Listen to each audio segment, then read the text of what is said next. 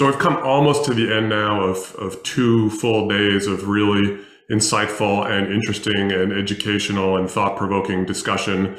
Lots of great people from government, from industry, people who've been in both government and industry, providing lots of great thoughts about where are we going, what are the challenges, what's all the great stuff that's happening. What Tom, what GSA have asked us to do now is to is to bring that story home now, to synthesize all that and to think about, okay, we have EO 14057, and what does that mean for the government going forward uh, for a data center operation standpoint?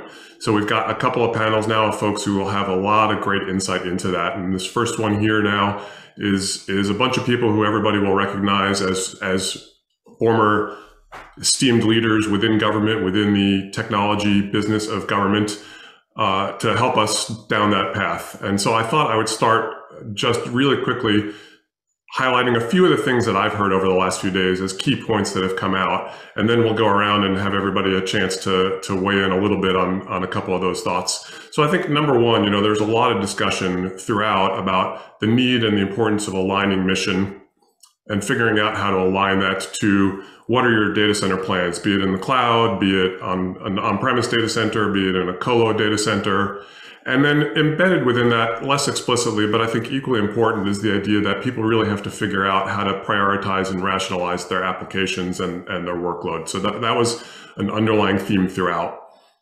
Second underlying theme throughout is really what the last panel was speaking about. In almost every forum, in every session, workforce came up in one way or another. It's uh, do we have people who have the right skills to understand the challenges that are facing us from a technology standpoint, from an acquisition standpoint, across the board. So there's a recognition of the need for that.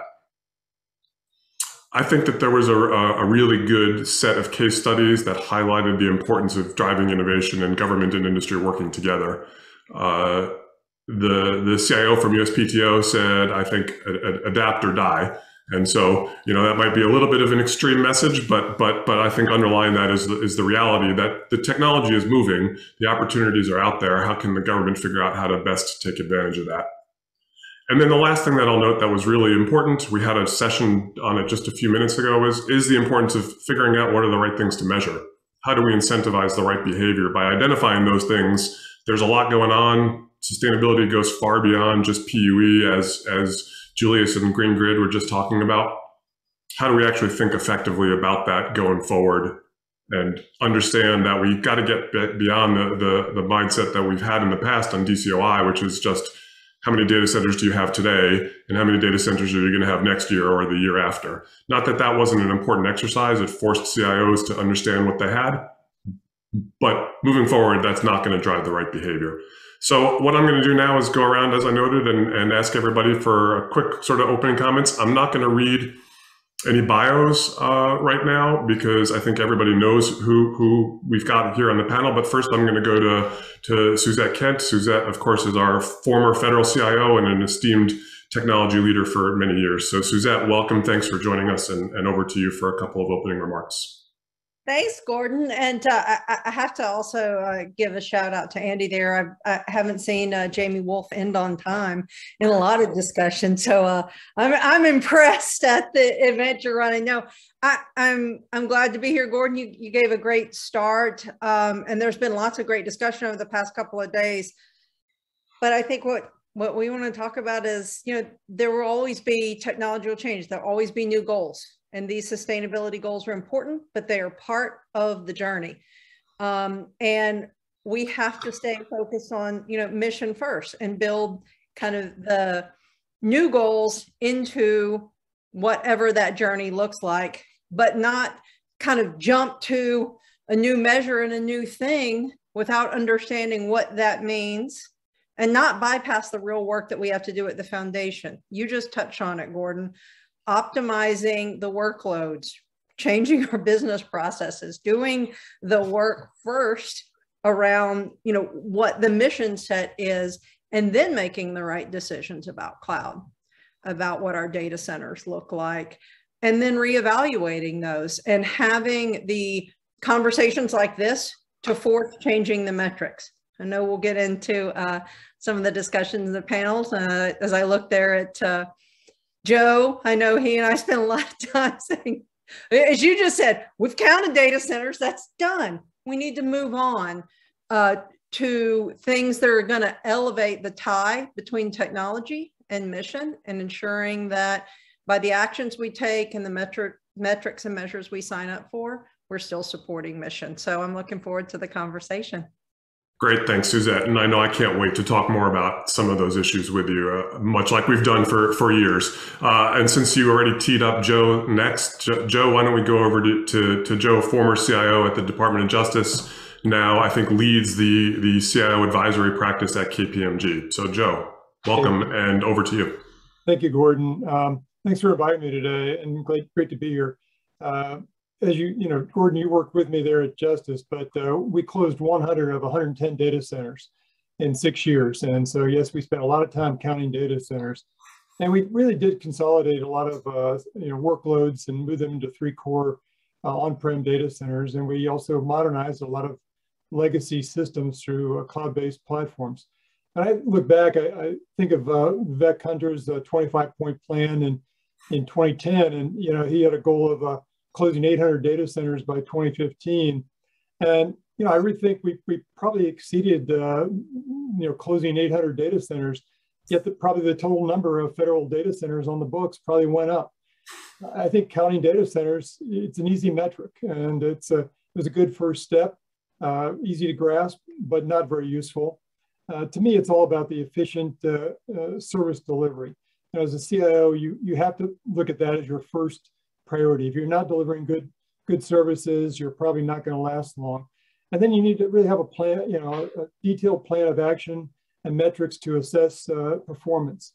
When I think about the data centers, uh, they're really part of your IT portfolio and a, a, tool in delivering these outstanding services.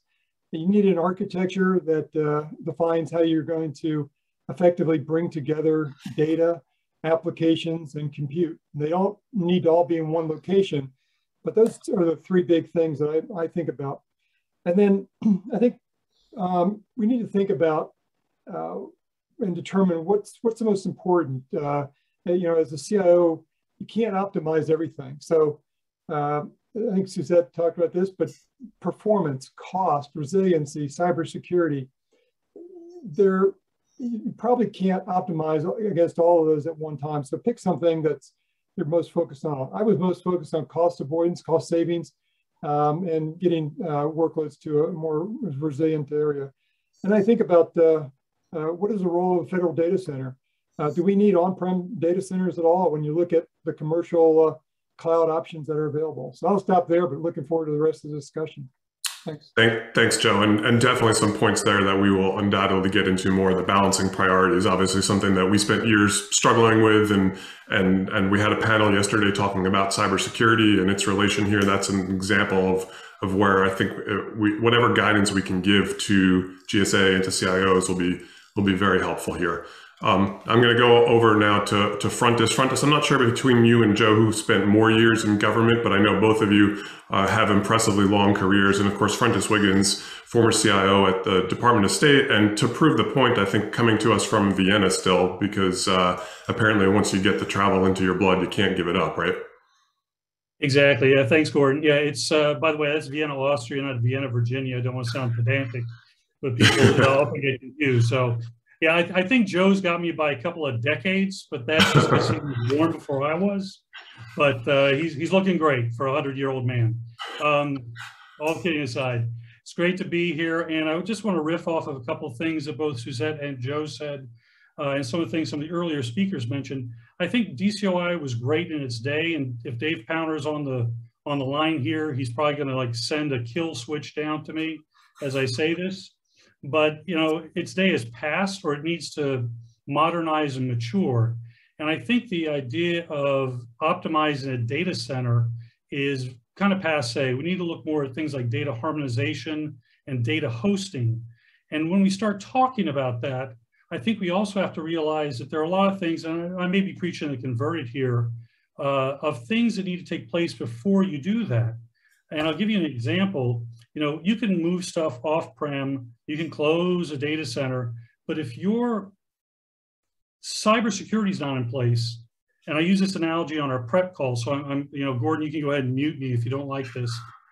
It's like if you step in dog poop, right? If your cybersecurity is not in, in the right place, you're going to track that dog poop to your data center or your house or wherever your case may be. And I think that too often there's this rush to move to the cloud, rush to move off prem. But what are you doing? You're just shifting your problem into somebody else's environment. And I'll give you an example. Uh, one of our partners is a company called SpyCloud. And just two days ago, I looked at Department of State right now. There are currently 347 compromised state accounts right now where people are logging on as state users. Someone's logging on as, uh, just use myself as, as example, Wiggins FB at state.gov, and they're going into Azure and they're going into AWS and they're going wherever with my credentials because they've hacked them. And I think that if you're going to really focus on the data, because the data center, the center is not important, it's the data that's important. You've got to protect that data. You've got to make it available. You've got to make it credible, right? All those things. And in order to do that, there are many things that have to take place first. And then we start talking about hosting the data and where it should best belong. And I'll use as example, as you said, I'm here in Vienna. We have at least three equipment rooms, uh, Dave Pounder would call a data center. But I can't, eh, for the life of me, think about closing down the data center at the embassy in Vienna when you're relying on a couple of local ISPs. And the example I always used was Beirut, or excuse me, Baghdad. When we first went into Baghdad, we had to diversify our route out of the embassy. Well, guess what? There was only only one ISP, so they took a connection out of the east side and the west side of the embassy, and then they met on the north side and the main distribution for the ISP, and then went out. So DCOI and what constitutes a data center and how we approach data hosting is important. And I think that DCOI was often, because it was a little immature, was a cudgel rather than a scalpel. And I think we have to take into account the mission, as other people have said in this panel, and exactly where that data should be hosted to allow for the availability and the confidentiality and all the important things that go into that. And I know you told me to keep to two to three minutes, but I usually don't say hello in less than 15. So now I'm going to pause and turn it back to you, Gordon. And I'm sure we're going to have a lot of interesting discussions here today. Yeah, Frontis definitely the points that you're making, and I think in in a lot, what a lot of you and, and Joe and Suzette are saying, we're going to get into that. What are the first steps, and it's really defining a lot of these pieces that that we're all talking about. Uh, two other things before I go over to Pete. One is thanks for clarifying Vienna, Austria, uh, and secondly, I'm glad you just said dog poop and not uh, what you might have said in the in the uh, prep session.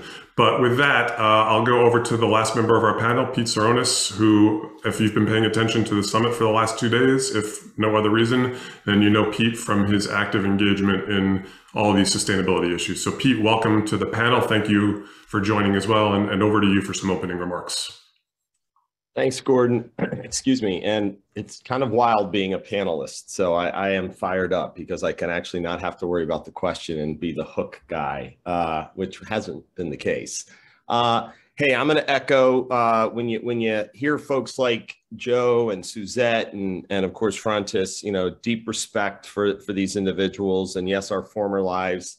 I was told once, you know, what's it like, or many times being a former shiny penny, and I'm like I'm, I'm a lot smarter and I can do a heck of a lot more. And it's nice seeing things outside of the bubble of the Beltway, which I've been blessed to do. But terms mission, rationalization, workload management, 100% when you're talking sustainability. And for two days, we've heard from national laboratories, from CIOs, from, from nonprofits, from service providers. Uh, I'm a fan of regulation that needs to happen and metrics that need to be developed, but I'm also a guy who focuses now on the cities and the communities and the municipalities of the future. Humanity, we heard Sylvia and Ann and um, uh, Vaughn echo that. Why are we doing it? So hopefully today uh, we'll talk a little about why this matters, not get, you know, maybe hung up on, on the fact that, you know, compliance, yes, is important, reducing carbon footprint, but how do you do it and what's the benefit? What's the impact? Um, as long as in my parting opening shot, if you will, is if, if, we're delivering significant and scalable economic and societal benefits through what we've heard throughout today, smart something, smart traffic, smart uh, sustainable infrastructure, precision alcohol, uh, alcohol, that would be interesting, agriculture. Um, actually, that's smart alcohol. That would be really interesting. But public safety, smart cities, folks, it takes this whole of government and industry approach, right? The data center and sustainable AI machine learning platforms, that's great. It's not the problem. Do we know our workloads? Do we know how much uh, uh, bandwidth, latency, transport we need? And that's something that's hard. Nobody likes doing that. Do you know what you have and do you know where you want to be? The cloud's our solution. The edge is now in play the threat landscape, to Francis's point, also goes along with that. So we want the creature comforts, we want the data at the fingertips. We don't want the single sort of, you know, uh, log jam of, of a former, just the one data center that we have with guns, guards, and gates. But with that, we balance risk of, of breach and also the opportunity to innovate. So I'll be coming at it from what I've seen in six and a half years since I've been out, where it's in parts of the country, people need basic internet access and and we'll just hope that a, the data center somewhere is helping them realize that there's too many unserved and underserved regions in this country if not the world and, and i hope we can dive into some of those use cases thanks pete i would suggest you rush out and try to trademark smart alcohol you might be onto something with with that in particular but since you said it in public, I'm not sure if you're going to be able to to uh, get a trademark on it. Somebody else might have might have. That's all good. Hey, hey, there are a lot of home brewers out there that have probably done that.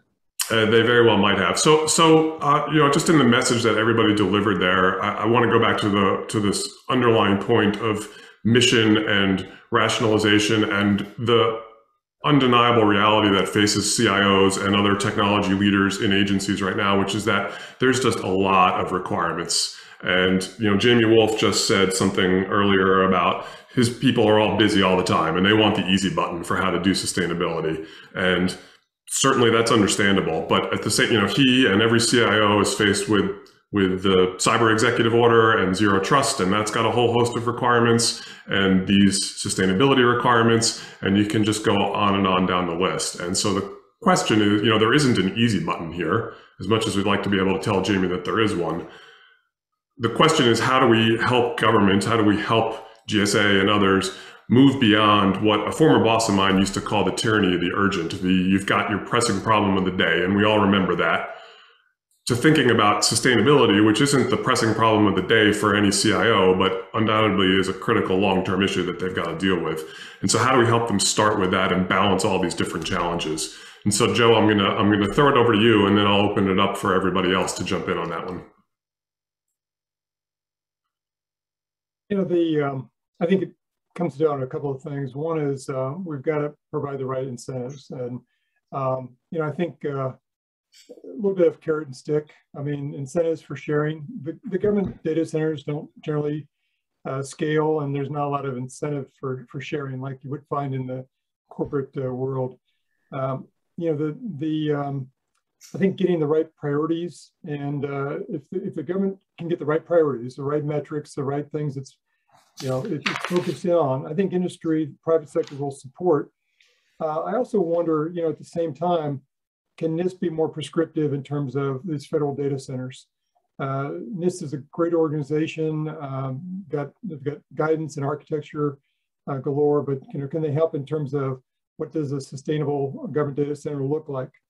Um, and I think, you know, the, the transparency is absolutely key. We must continue with that and I can talk about some of you know what I would view as success, but I don't want to take everybody's time. But I, you know, I think that we we need to think about what do we want as a government in terms of these data centers, and then the pieces will fall in place. Yeah, yeah. So maybe Suzette, if you can follow up on that, because I know we've had that discussion about what do we actually want out of out of government data centers, and are we able to effectively figure that out and, and manage that? And and you had a, I'm sure, unique perspective from your former role and seeing that. Yeah. Well, and and uh, Gordon, I'll say something too about again recognizing the the journey. Um, choosing a place to start that's attainable. So when you when you look at that whole executive order, there's a lot of things in there. It's it's it's for a long game, 2050, right? And there are some things that that are sooner, but you know what, we measure creates behaviors that um, sometimes have unintended consequences. And, you know, if we if we try to do all of that at one time we're going to get components of it wrong. So start with something that's attainable. That's the approach we use with the federal data strategy. It's the approach that has been used over multiple administrations for zero trust. Maybe it's the buy clean portion maybe it's some measurement of um, emissions. But what what we also need to understand is metrics that are reasonable in a federal environment so that we move the ecosystem at the right at, at, at um, in sequence procurement and funding. And the the concept of starting to gather common measurable data and look at it before we put it on a scorecard or we circulate it with the CIOs, with the mission, um, with the CFOs, with the CDOs, and and look at does this matter? Are we moving, you know, in the right direction? And then set the metrics. And I know when we were preparing for this, you know, I I actually said I was a fan of finding some metrics and measures, but not making them formal immediately. Um, looking at those as leading indicators and having a robust dialogue about if it were this, right? Are, are we truly seeing progress? Does this is this matter, you know, across the agencies? Can we capture the data? And um, are we not signaling some unintended consequences? But ensuring that those things are achievable. And the last thing is that we follow it with funding. I know some of our um, operationally sustainable, you know, lab uh, uh, um, data centers and operate that are at the top operate and, and in private sector operate at a different price point than we currently fund across many agencies. So if we're going to achieve all these goals together, we need to understand what that run rate looks like and make sure that we're committed to it and you know that we're not going to ask agencies you know i don't want to say the unfunded mandate work but ask them to achieve things that are not attainable with the resources that they have whether financial or the investment in people because this is a different kind of operation. Yeah, it almost sounds like you're saying that that a, a necessary step is, and, and of course we're all familiar with this. The you know you've got to define a plan and what's it costs, but then the administration has to be held accountable on their side to. This isn't just like you said the, the unfunded mandate uh, four letter word, right? Which there's there's we, we all know there's there's no shortage of, um, and, and and we've got to figure out how to get past that if we're serious about about some of this. Frontis, uh, any thoughts on this? Oh, I've always got thoughts. Um, just whether you want to hear them or not, it's a whole other kit and caboodle. Um, yeah, I want to uh, echo something that Suzette just said. What we measure as consequences, and I think in under the old DCOI, it was data centers. And as I was saying earlier, every embassy had a data center. So the Department of State had 270, 280 data centers, some of which were basically an office with two split pack air conditioners. And yet we were driven by the metrics as laid out to say, you're going to close X percentage of these. Uh, and the option was, well, great, where's the tick, overseas tick? Because how can we close an embassy data center or an embassy uh, uh, communication center and have to reroute everything back to the States from Australia? You know, so I think we, number one, you have to think about what you're measuring, and that's really important. And the second piece of that, of course, is in order to be successful, you have to get buy-in from the C-suite, right? Seventh floor, we used to call it in the Department of State. You have to do something that's going to have meaning to the secretary and their senior folks. And I think that uh, one of the biggest areas you can look at there is the so what factor. You know, are you going to be rewarded for closing those data centers or optimizing or maximizing, whatever you want to talk, call it, other than just getting, no offense, a scorecard and getting a pat on the head from Gerry Connolly. Um, so I, you know, I've got some ideas about, and I'm going to throw these out later about using the uh, the ITMF, the Technology Modernization Fund, as kind of like a bug bounty kind of way to get at it, so that people are incentivized in the right ways to be more innovative and try to go out there and push these things out there. And I also think that the whole data hosting issue, I'm going to keep saying data hosting until people tell me to shut up, um, is a means to an end. It's only part of the journey. And I think that if we've learned nothing else from this god awful virus that we've experienced is that there is a chance and an opportunity here for to go after things in a different way to realize real cost savings, change how you recruit, change how we work for the federal government writ large. And we've got a window of opportunity to take advantage of while people are paying attention. And that ties into this whole data hosting, changing the platform, and figuring out exactly ways to modernize because I think the data centers are the small piece of the sustainability issue. And I'll get to that in later comments. And look at that, I kept that under five minutes. That, thanks, Frontis. And I, I think a whole host of things that we could certainly follow up on from from the incentives and, and response standpoint as well. But I, I think one thing that I want to get Pete's views on, because coming from Department of Energy, you know, highlights different agencies, different missions, state, lots of stuff scattered in embassies all over the world.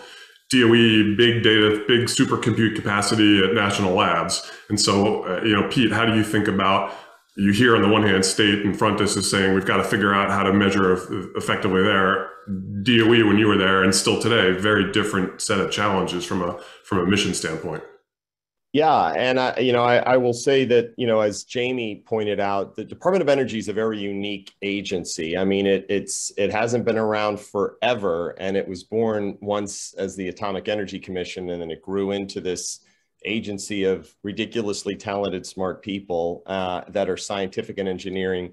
And yes, we there are a ton of supercomputers in the national labs, which are an extension. And then you have the NNSA, which really is its own administration, right? Um, supercomputing, we learned, you know, yesterday. If you if folks were there and those who visited the labs, I've been to many many labs of our labs, and I mean they do great things. They're super fast, and, and the need, their biggest challenge, supercomputers, is power consumption who needs information. So the better we can get at asking questions, whether that's through uh, artificial intelligence, machine learning, leveraging DCIM tools for the DCIM market out there, the data center infrastructure management tools, examining how can we naturally cool a data center, these are questions that we can ask really, really fast computers that don't go to sleep at night. As much as we love our own brains and want to noodle over, the days of from the movie numbers where we're at whiteboards, we can ask questions. And supercomputers can provide those perspectives and insights. So for me, I think, yes, we can leverage these purpose-built platforms and I know Suzette has visited many of those, as has Joe, and they used them at NOAA and Frontis. I know you, the power. We need to, I think, be incentivized to understand that we're probably only tapping the capabilities of you know current supercompute next next generation exascale and then someday quantum if we ask the right questions because i want to quote one thing for anybody watching go read the DIGIT Act from 2020 okay it speaks to the internet of things and the impact and the one of the quote was by they expect by 2030 that we will have 125 trillion devices connected now that number's probably gone up since 2020 but that kind of connectivity, that kind of ubiquitous connectivity should get people like, wow, that's amazing. As I read a drones article this weekend in the Wall Street Journal about delivering packages. And I'm thinking, who's managing all the security and the connectivity? And that to me is, I think, part of that incentive for all of us. And it was mentioned, I think, by Joe. Forgive me if it wasn't Joe. The C level, this isn't a tech thing. This is a this is a citizen thing. This is a CEO thing, and it's somebody who's working in our SOC and data center to say, with all that connectivity and all that promise, what's incentivizing us not to meet a scorecard, but to make sure we're doing it in a societal and an economic uh, it, with an economic intent for the betterment of humanity. Yeah, I think Pete, the incentive point there is really important, and this capacity that exists at places like the national labs. And how good a job are we doing at sharing that even within agencies to say nothing of across agencies and making sure that those capabilities are made available? And i know joe we we struggled with this even just in doj when the fbi was building data centers to share those services with with the other components of doj and that says nothing about the challenge of if we were going to another department and and so it really does raise pete this question of incentives being at the core of figuring that out what's the incentive for any given CIO or any given acquisition officer to make the right decision for the government as a whole to do the sort of things that you're talking about. And, and I know I found that to be a very challenging thing because every day I'm being told we've got to deliver for our mission and you've got to make the choice for the mission first and and all this other stuff. Yeah, that's nice, but that's that's really secondary. So I know Suzette, we've spent some time talking about this. I don't know if you want to jump in Yeah, um, I, I, was I was listening, you know, to, to Pete there, and um, I'm going to go back and put, you know, pull on a, a couple of things, and actually some of the things from your from your last group. Um, how do we how do we achieve great outcomes faster? And, very often that's to look at where we're doing it well, and and share those learnings. Um, but those there, there's a lot of variables and i think about when i visited a data center in colorado and what they could do for cooling and powering is way different than arizona or in the middle of you know idaho hmm. or when i went and visited my you know friends that are below sea level in in other areas um, the playbook making a rep a, a, a playbook that can be replicated in our nation with the various sources is, is a little is, is a little harder in this case. Um, and, and again, as you talk about tying it back to mission and how that rolls through the entire process, um, it, it, you you heard that you know that that that playbook helps us with the how, the humanity and the mission goals are the why. And again, as we're moving along this journey, um, the uh, checking the boxes as Frontis set on a scorecard is not necessarily what you know we want to do, but it, it's a it's a lever that um, is often used by those outside government as an indicator of progress. And again, I'll go back to you know the leveraging playbooks out of you know those who have done it well and having actual dialogues about what does not just a, a score look like but what are the measures of progress as we move to you know 2050 in all the disciplines and by the way don't just measure the cio that that that means the cio has to drag everyone else with them in these processes and then take the beating when it doesn't happen. look at look at the partners, procurement, the CFO, data that we're going to organize differently, and the mission demands. Right? I know many times uh, we'd have a conversation about, well, we we can do this better, and the mission team would like, no, I want this this thing this way. Um, you know, and, and make sure that you've got all the individuals at the table because each panelist has said it in a different way. This is not a technology play. This is technology honoring the goals of sustainability and embedding it into the work that they do.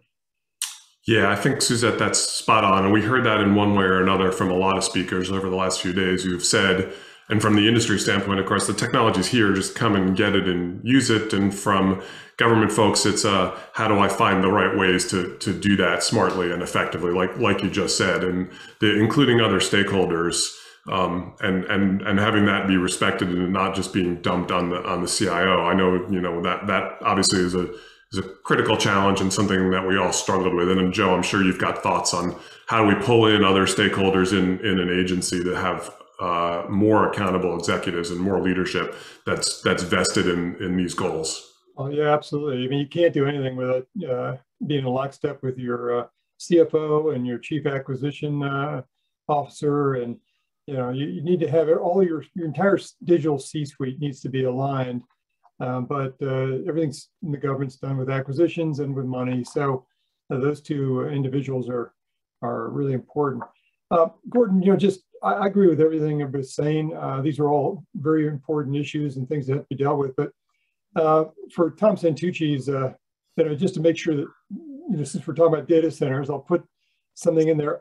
It's been a long time, uh, front, it's maybe 50 years since I, I designed data centers, but uh, I did that once upon a time. And I always followed BICSI standards. You know, these are international standards for, uh, for, for IT and telecommunications. And there's two in particular. There's 002, which is data center design, includes energy efficiency, and BICSI is 009, uh, which includes data center operations. And both of these, um, you know, have data center performance and uh, efficiency and sustainability, productivity operations embedded in there. And, and I think if, you know, yes, Frontis, I agree that data, compute, um, those things are extremely important in terms of how we manage those. But if we are still talking about data centers, I think it's important that we design government data centers to meet the same kind of standards that you expect it to be built in industry and to the highest quality you know, standards. So as a follow-on question to that though, Joe, 100% government should be following standards, but you know well better than I do the time lag from the time the government starts to design and build a data center to when it's when it's delivered. And we can look at the FBI facility in Pocatello as a great example of that. It's a five-year journey, and in the intervening time, the leading data center manufacturers, builders, operators, they've developed two new generations of technology. Well, I think the, the acquisition process in general has to be addressed in the, in the federal government because, you know, it's a, it's time you get, you can't even do the acquisition until you get your budget, and that's a two-year, three-year uh, cycle in and of itself. But my point is that uh, uh, we want data centers to be as efficient as possible uh, if they're going to operate uh, in these capacities. You know, I think the other thing that um, Frontis got me thinking about the uh, all of his the State Department and forward deployed data centers it's just going to get worse if we try to you know count data centers because of edge computing and we really need to look at that as a, another tool another way of deploying data uh, to the front you know the forward uh, edges of our you know mission and um, uh, i think we've got to get away from that but what we do pro provision in in it has to be as efficient as possible yeah, for sure. It's a, uh, it's a, how do we do that in smart, effective ways across government though, right? And, and manage that efficiently. And Tom has repeatedly told me about his experiences of a data center with a bunch of racks that are being barely utilized, if at all, and a bunch of end of year money spent to buy a bunch of storage that's just sitting there in a box until the warranty expires. And I know we've all, in one way or another, experienced those sort of challenges. I do think I want I want to come back to to the the the point you were making, sort of in contrast to Frontis and and the the edge computing and the the the data centric view that that Frontis was advocating for, because Frontis, I, I think it's a it's important to bring that back into the conversation and talk about, as Joe was saying, we need some government capacity here. You know, how do you manage and balance and make decisions about when to do those things effectively for the government versus when it should be that we can leverage an industry best practice. And we heard a great case study from from the Air Force yesterday working with Equinix, Joe doing exactly that, right? Taking advantage of some of Equinix's global capability and edge capability in ways that the Air Force would still be struggling to, to start today if they were doing that themselves. And so, so Frontis, you know, you definitely live that on the State Department side. So, so you know, how, how should we be thinking about that and finding that right balance? Right. And thanks, uh, Gordon. I would say it's that old adage of best of breed, right? If government can do it better, cheaper, faster, then that's what government has the edge. But if there's a private sector that can meet the same standards from a security perspective and an availability perspective, then then you can go the other way because I think that the incentive really has to be, or let me let me back up a second. I think what has to take place is data has to be looked at looked at from soup to nuts. You have to make sure that, as you were pointing out, Gordon, or as Tom mentioned earlier, who's still accessing that data? How often is it accessed? And is it open to the public? Is open to just the folks within the, the agency? If it's not being accessed very often, perhaps it could be put in a different platform that is cheaper to run. It could be harvested out to a private company. But if it's something that has to be available every second of every day, then that's something that has to be a little closer to where the end user is.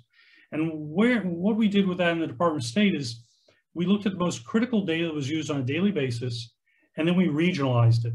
So we collapsed it out of the edge of the embassy and put it into a regional location. So it was still there. And then there's a backup back in the States, and there was a second backup back in the US, in a second location in the US. And I think that there are criteria that you can use to say, okay, what's the level of security required here? What's the level of availability that's required here? How often is it really being accessed? And should we be mothballing some of this data and retiring off to NARA instead of just moving it to a different platform or buying another, you know, chiller for that that uh, that data center? And I think the other thing is that the incentive piece of this, uh, I, would like to, I hope we get to this uh, before the end, obviously, is what would drive this to say, okay, if I'm going to be given credit for doing something by closing a data center, moving the data to a, a public environment or you know, off-prem, what is what is my real gain and how am I going to sell that to the C-suite? Because if I'm just saying I'm closing down some servers or racks or whatever, the average CFO probably doesn't care. But if you can show that you're doing some things that are enabling the workforce, empowering the workforce, and doing other things, that's what's really going to get people's attention. So um, I, I, guess we're going to get to incentives in a little bit, unless yeah. you want to launch on now. No, no I think for Frontis, we've only uh, got about 15 minutes left. And so I, I think I want to pivot the conversation a little bit to what are the next steps and what are the right incentives to drive the sort of behaviors that, that we're talking about? Because I think collectively across all of us, there's sort of a similar sense of what what needs to happen. But I definitely want to start talking specifically about that. So so please go ahead. Well, and Gord, I want to I want to I want to pull on what what Frontis said there around incentives for uh, really quickly. He was going in a in a place around credit, around recognition, mm-hmm. around investment in workforce, and how does the government get private sector industry to do that? Exactly that right? That is exactly what is happening in some of the sustainability spaces in other places. And, um, you know, as somebody who's gone back and forth between government and private sector, is very interesting to me at times in places when industry is held accountable to a standard that we don't meet inside government in the same way. Mm-hmm. And sometimes those incentives um, aren't aren't as used laterally across. And again, when I look at the sustainability EO and, and the overall goals, and I saw one of the, uh, there was a question from one of the panelists. There are things that agencies have to decide and drive for themselves, but there are some things that the government as an influencer and as a, at the center, so real estate and facilities that we own across the board, um, influence in the way that we're buying and expectations of our partners that we can use to influence, you know, achievement, but also holding ourselves to those same standards. And Frontis asked a really important question is why, you know, yes, we all want to do it for humanity, but on a day-to-day basis, mm -hmm. what do you do that makes someone change how they've always done things? And that that's how we start. Yeah, I, I, think that's right, Suzette. That is the figuring out what are the first steps and what are those incentives. And so, so um, Frontis, why don't we start with you and then go around with everybody and think of it, you know, what what are those key first steps? So Frontis and then Pete and Joe and then back to Suzette. Okay, great. Thank you. I'll, I'll be quick. Uh, I had a two-tier approach uh, that I thought might be worth considering. You got the IT modernization fund, and right now the way it's structured is an agency, come, agency comes up with an idea, they go and get funding, and then they have to show savings at the end. And what I would suggest is you reverse that algebraic formula and instead say, okay, here's a, I'm going to close a data center or I'm going to do something different. And I want to get something out of it at the end. So if I can show that I'm optimizing a data center and changing my data hosting, I should be given probably a scalable amount of money, depending on how much money you save out of the ITMF to spend on whatever I want.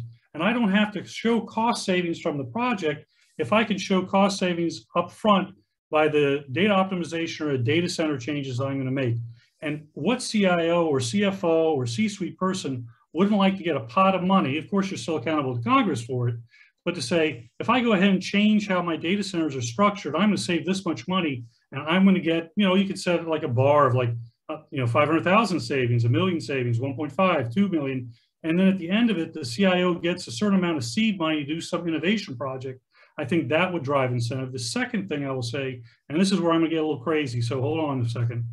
As Suzette just mentioned, real estate.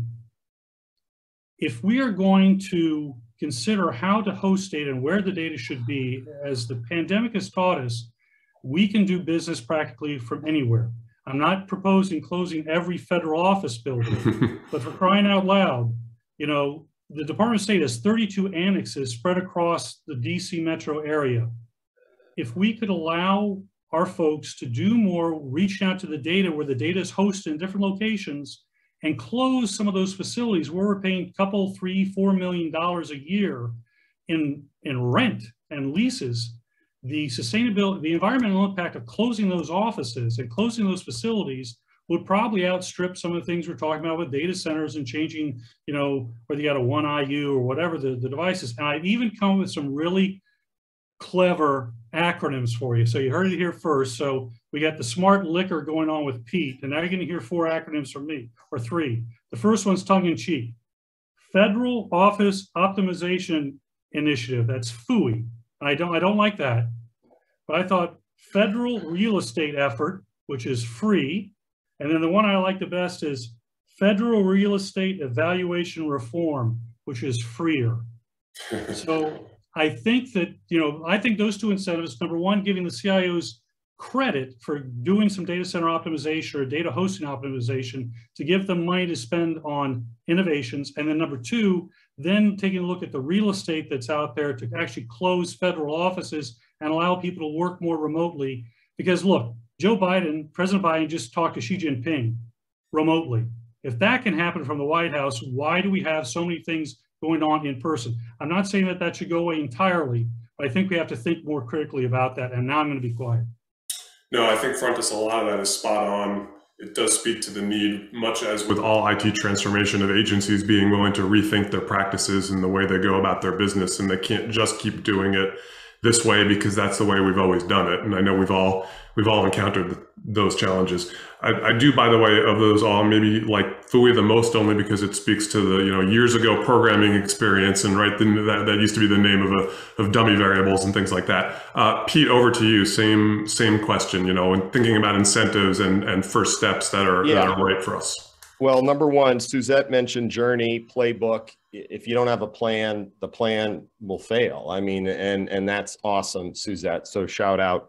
Uh, uh, sorry, Pete. Just to just to interrupt, is that plan at a department level, a, an agency level? Where does that reside? A whole of government level? Who's thanks, responsible? Thanks for the hardball. Was I'm in a flow, man. So I appreciate that. Um, you know, I love you, Gordon. So, so I was getting there. So, what's the incentive at the end of the day? Well, it starts with having a plan, right? And and we'll I'll explain what I mean by uh, shout outs to Suzette. Uh, Suzette did it all the time. Her predecessors, they put out guidance. We had something from Congress, be it an act or a bill, that incentivized the Office of Management and Budget to push out guidance in the form of a memorandum. We got 14028 and Colonial Pipeline was hacked. We all got in touch with what does OT and IT mean a year ago. We've seen gas prices. We're seeing now what happens when the energy sector is impacted by war. Okay. The M22090 trust, here's your incentive. If you're selling into the government, give the reason, give the government a reason as money is starting to flow as a result of that to reimagine how they can prioritize funding to solve what 14057, 14028, as I quote, to modernize the federal government, quote unquote, cybersecurity, there's other stuff advance towards zero trust architecture, accelerate movement to secure cloud services as a service, centralize and streamline access to cybersecurity data, and invest in both tech and personnel to match those goals. What's your plan, agencies? Work with industry, get best practices. There is money. Largest purchaser of IT is still the federal government. Industry is rolling and rocking and not, not any particular order. You heard it from Kate Brandt alone today there's an opportunity to do some great things that others in other countries are doing. So the greater good is the incentive. The, the, the, the federal agencies, you've been given guidance. Industries like, where's the money? You want to know where the money is? The money's there. It's your tax dollars. Give the government a reason to spend it and come to them with a plan and see if it aligns with their mission. But don't quote FITARA. Don't quote a metric and say you're great at it.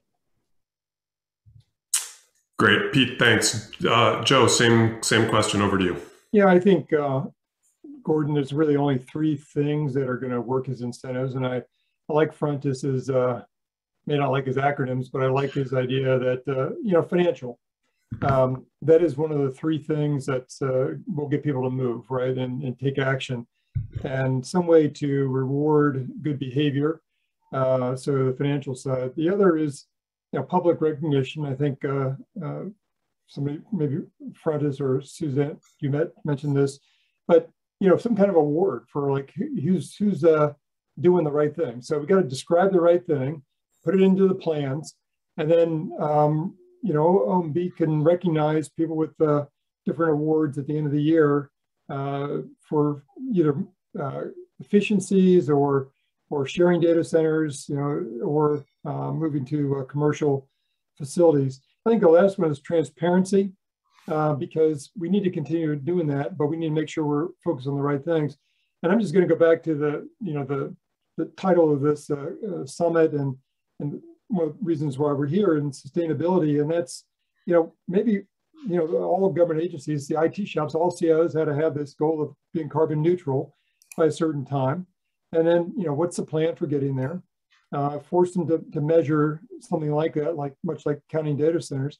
But you also have to look at, you know, green energy uh, versus, uh, you know, data center in West Virginia. And I had a bunch of those, uh, you know, and, um, you know, is that if it's burning fossil fuels versus uh, solar or, or um, you know, wind or anything like that. Lastly, I'll just say, can't ignore water, water consumption. A lot of these uh, data center operations are very intensive in that, and uh, uh, you know, we're it's something I'm very conscious of. So I'll stop there. Thanks. Yeah, Joe, definitely the the water measurements have come up in a number of the sessions today as as metrics that need to exist and as part of the overall package of sustainability for sure. Suzette, I want to go over to you not just to address the incentives and, and the first steps, but we've only got a few minutes left. So so what is what does success ultimately look like here for you? If you're you're back in your former job, what what does 2030, 2040 look like? you know, Gordon, uh, this is not an original answer. It's success is judged on the outcomes that are produced. And, you know, in, in, in 2030, 2040, and 2050, um, we're, we're approaching any resource that we use with the idea of sustainability, right? But we're still addressing mission. And and the the dialogues and questions we're having today is is just adding to the discipline about with about how we do things. And i'll, I'll make a really simple environmental you know comparison. Think about litter. Something as, as silly as that and, and years ago um, we we got we got to a place where it was out of hand and we elevated and paid attention to it. And now, in most cases, in most places in our uh, United States, that's looked at as a crime, right? We, we changed our behaviors. Elevating it is about changing behaviors. And we heard that when it's part of success is when it's part of how we do work. When the, these are questions that are embedded just like really good design principles when it's part of our everyday job and it's a conscious component of the decisions we're making when we we put together any type you know of operation which again we're focusing on data centers but we use a whole lot of resources doing other things in the federal government as well. So it's part of what success looks like is it's part of our our everyday business that our outcomes we are continuing to improve and finesse the impact that we have you know on our world. And it is part of how our people go at every activity and part of the the training. Um, that's what you know success looks like to me and that's in line with the missions that we're already yep. serving but yep. um, i want to plug one last, last two little things the technology modernization fund could be a source um, as far as was put, it it specifically says emerging technology, administration priorities, and there are pathways for even having some of the payback relieved. So an agency that has an idea of how they might want to, to go about this, they, they have that opportunity to, to have a conversation. And what I think has really been great about many of the Technology Modernization Fund projects is that they produced a deliverable that was reused across multiple federal agencies. So maybe, you know, I know that GSA one time did one project where it was that they, they learned something on behalf of every other agency. Maybe there's opportunities for that. And the last thing I'm going to say is I'm going to, um, for those listening, I'm going to ask you to think about ways that we got, we, we play in times where we really moved quickly um, we did a couple of things, united around the mission and focused, but we also stopped doing things that weren't value added. And I think that's a tough question that agencies should ask themselves. Um, you heard Jamie say it, you know, just to the end.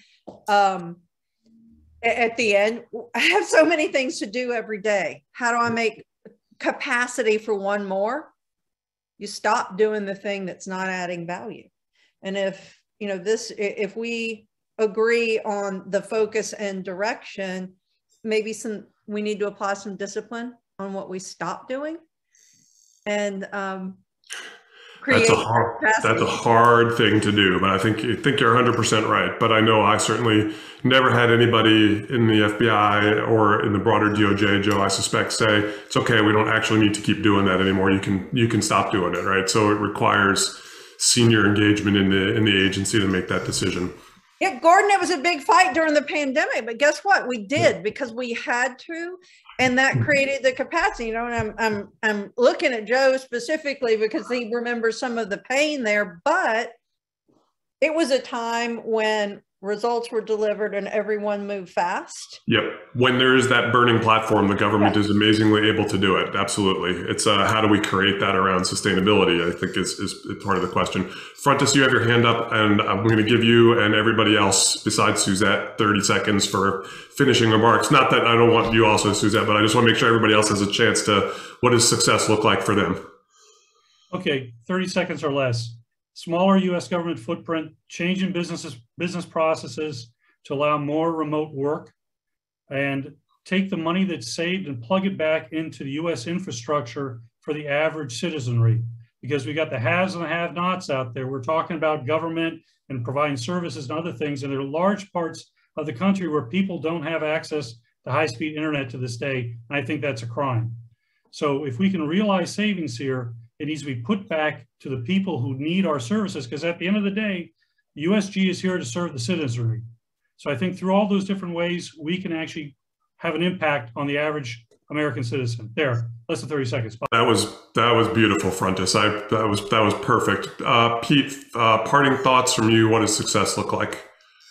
Well, I think it's uh, to everybody. My parting shot is, you know, stay educated, stay informed. You will be enlightened. There's a 1.2 trillion dollar ton of money that's that's coming in to support the sectors that we use and are part of every day. You know, don't read all 2000 plus pages, but look where the money's going. It will eventually be released to industry. That's the mission. Arguably, that's the incentive. Data centers are a part of it. Zero trust is a part of it. The Internet of Things is a part of it. Protecting assets, there's no silver bullet. So for me, it's if everybody understands when we use the word mission, that there are about 450 plus agencies in the government, according to the Federal Register.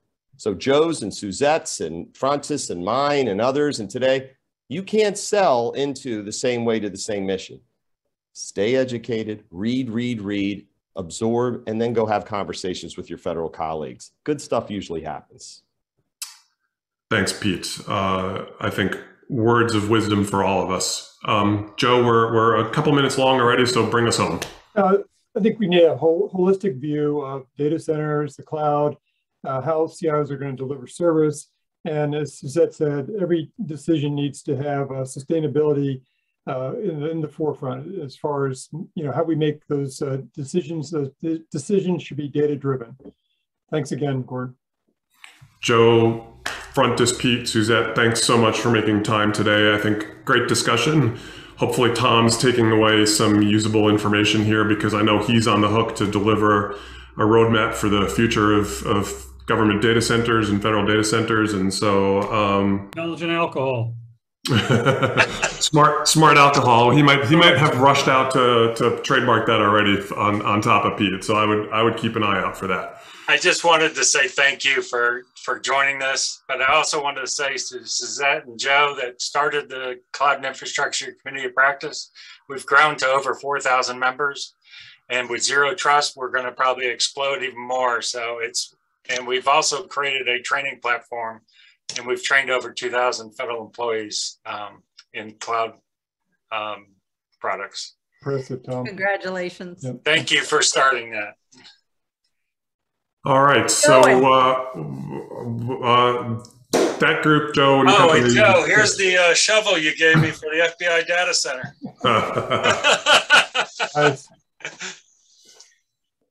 Nice. All right. Uh, again, uh, you guys are, of course, welcome to stay. I'm still on the hook now for the next panel with our industry leaders. So if uh, Terry and Chris and Nancy can turn your cameras on, and uh, we're going to go through uh, hopefully a similar conversation, but now from an industry perspective about uh, what are the challenges, lessons, opportunities to really help the government move forward from a from a data center sustainability standpoint.